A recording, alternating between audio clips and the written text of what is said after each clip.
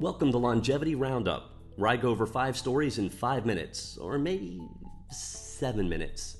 No promises. So let's get started. In our first story, David Sinclair is raking in the cash again. That's right, Tally Health, the $129 to $199 a month longevity club, created by anti aging researcher and Harvard professor David Sinclair, just got a major infusion of cash. Tally Health announced that it has closed a $10 million seed round, which included venture capitalists as well as celebrities like John Legend, Whitney Cummings, and Pedro Pascal. This is the way. According to the company, the money will be used to expand research and development of new products and additional features. Tally Health CEO Melanie Goldey said, We are also seeking to make our products, recommendations, and interventions even more customized for our members. Before its launch in February, Tally Health had a waiting list of 270,000 people who wanted to try the product line, which includes a biological age test, daily supplements, and personalized health advice. What's more important, the quality of sleep or quantity of sleep? Well, according to new research, good quality sleep may be more important for a healthy and happy life than the recommended 7 to 9 hours of sleep per night. The study followed more than 4,000 people in the Czech Republic over three years and measured their quality of life using five parameters life satisfaction, well being, happiness, subjective health, and work stress. The research found that those who reported being able to fall asleep quickly and stay asleep through the night had a better quality of life compared to those who did not. The study also looked at social jet lag, which occurs when sleep habits change such as going to bed later and waking up later on weekends. The researchers found that sleep quality was associated with health and happiness, while work stress was linked to social jet lag. The study suggests that sleep duration is not as important to quality of life as what is considered a good night's sleep. However, the researchers noted that the findings are associational and more studies are needed to determine whether poor quality sleep lowers quality of life or vice versa bioprinted patches could repair dead heart tissue. Researchers from Australia have developed a bioprinting technology that uses personalized bio inks made from a patient's own stem cells to repair dead areas caused by heart attacks.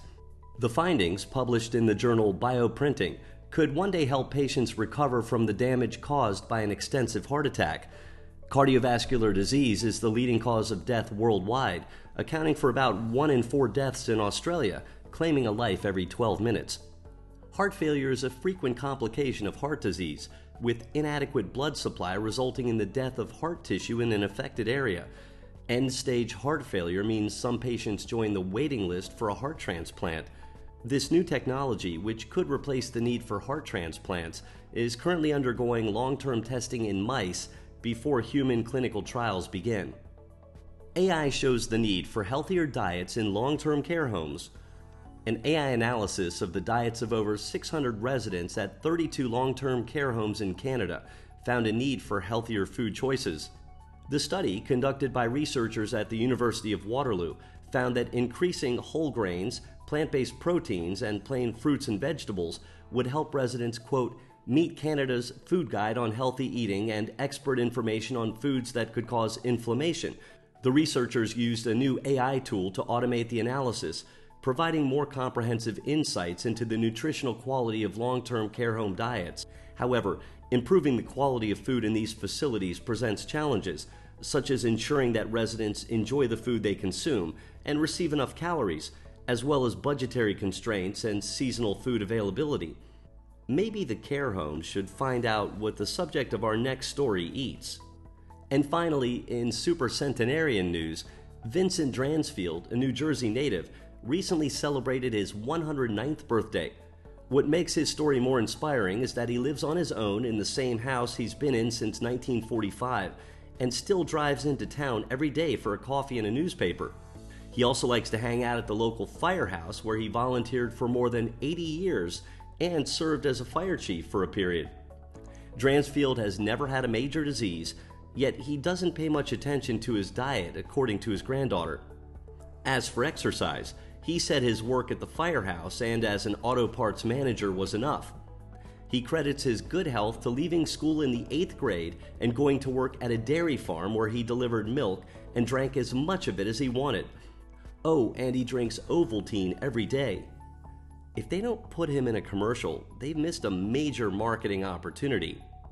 Anyway, happy birthday, Vincent. I hope your cake didn't attract any unwanted attention from your buddies down at the fire station.